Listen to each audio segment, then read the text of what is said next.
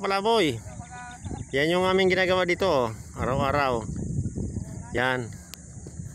Yan o. Yan.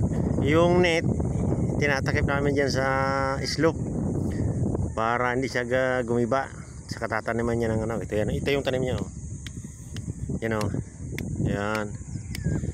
Yan. Slope protection ang tawag dito. Slope protection. Itong ginagawa namin. Bioengineering. Hmm. Yan. Ito. After nyan, tataniman nito, sintrosima.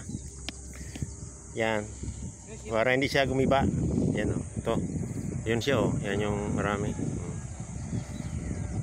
Hmm. Yan. Yan, yung ano namin eh. Ito na sila oh. Yun ang pang ano, makakalikasan. Hindi simento. Ayan yun yung gagawin niya oh. Tatapon niya oh. Tatapon niya. Yan oh.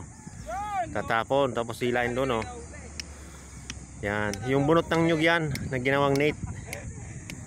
Ayan oh. Yan yun naman yung nag-istaka. Nag-istaka naman siya oh. After nyan, tatahin yan sa katataniman. Yan, puputulin yan. Yan yung manit.